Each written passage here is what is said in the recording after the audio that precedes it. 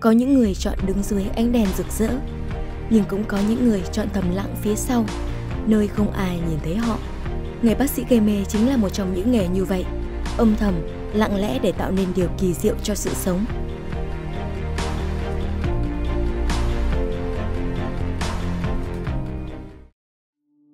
Nghề y nói chung và bác sĩ gây mê nói riêng, để một ca phẫu thuật thủ thuật diễn ra thành công, không chỉ người phẫu thuật phải giỏi, phác đồ điều trị phù hợp, mà đội ngũ bác sĩ gây mê hồi sức cũng phải giỏi.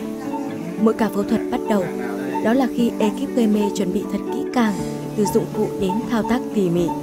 Họ không chỉ đơn giản là đưa bệnh nhân vào giấc ngủ, mà còn theo dõi từng nhịp tim, từng hơi thở, đảm bảo sự an toàn tuyệt đối. Đối với những người bác sĩ gây mê, không có gì quan trọng hơn là sự an tâm của người bệnh trong những giây phút khó khăn nhất. Mỗi ngày trôi qua, đối diện với từng ca mổ, từng quyết định cần phải đưa ra ngay lập tức, người bác sĩ ấy vẫn luôn dành chọn tình yêu với nghề.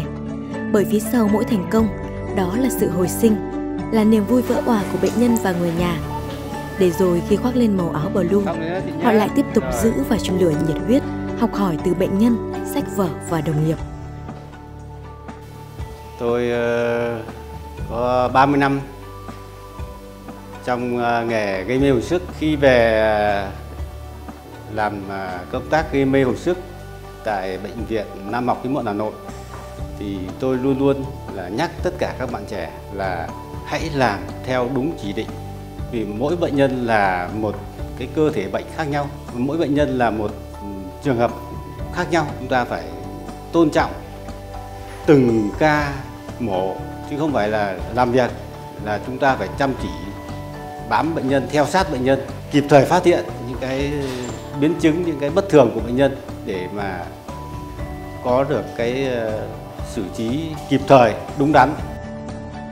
Không có những tiếng reo hò không có những lời cảm ơn trực tiếp nhưng đối với bác sĩ gây mê mỗi khoảnh khắc bệnh nhân tỉnh dậy an toàn đó là phần thưởng quý giá nhất. Có rất nhiều những uh, cái uh, kỷ niệm với trong quá trình hành nghề và có những kỷ niệm mà rất là vui vì mình đã ừ, cứu được bệnh nhân một cách rất là ngoạn mục cùng làm việc với ờ, các bậc đi trước.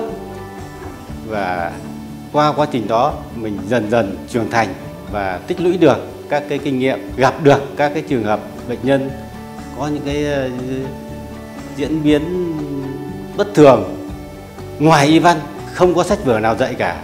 Nhưng mà trong quá trình hành nghề mình được gặp được thấy để mà có những cái xử trí cứu được bệnh nhân.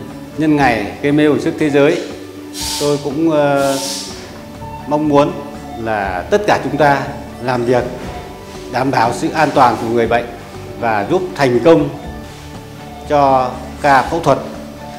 Tận tâm tận hiến với nghề y mỗi người bác sĩ gây mê tại bệnh viện Nam học và hiếm muộn Hà Nội đều mang trong mình sứ mệnh thiêng liêng. Không chỉ là chữa trị, bảo vệ an toàn cho người bệnh, mà còn luôn hướng dẫn, truyền thụ kiến thức, kinh nghiệm, trải nghiệm về nghề đến lớp lớp các bác sĩ trẻ kế cận. Dù ít ai nhận ra, mỗi hơi thở đều là minh chứng cho sự cống hiến và trách nhiệm của người bác sĩ gây mê hồi sức.